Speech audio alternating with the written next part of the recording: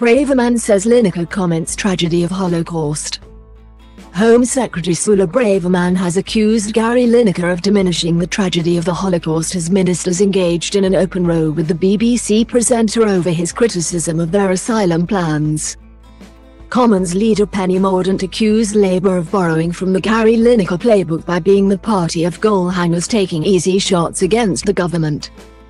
The former England striker hit back at her clumsy analogy, saying he was just happy to have been better in the six-yard box than you were at the dispatch box.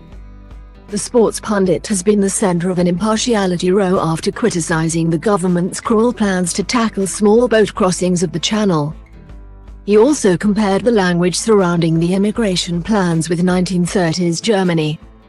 Ms. Braverman said she found the comments offensive because her husband is Jewish, my children are therefore directly descendant from people who were murdered in gas chambers during the Holocaust.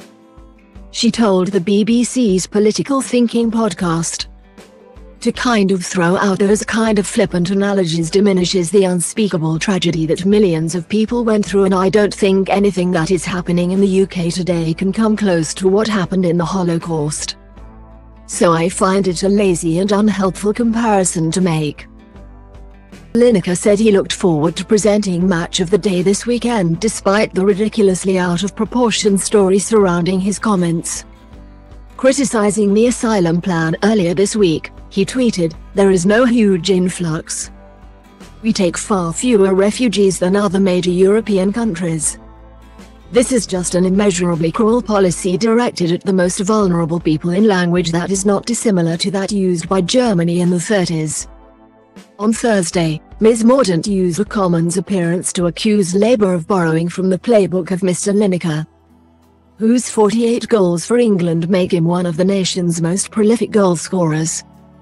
They are a party of goal hangers and the occasional left-wing striker, hanging around the goal mouth. Poised to seize any opportunities and to take an easy shot, she told MPs.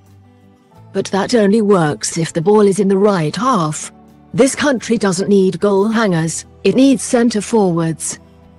Mr. Lineker responded on Twitter, Thank you for mentioning me in your clumsy analogy.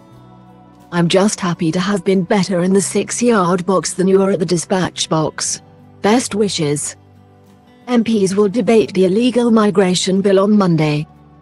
If approved by Parliament, anyone who crosses the channel in a small boat would be barred from ever re-entering the UK and would only be eligible for asylum in a safe third country, such as Rwanda.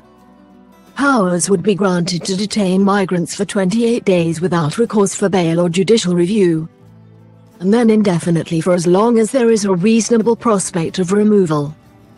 Addressing Mr. Lineker's comments, a number 10 spokesman said, We think that kind of rhetoric is not acceptable and it is disappointing to see. But beyond that it is for the BBC to deal with those matters. Asked if Rishi Sunak was content for the presenter to host Match of the Day this weekend. The official said, That's a matter for the BBC.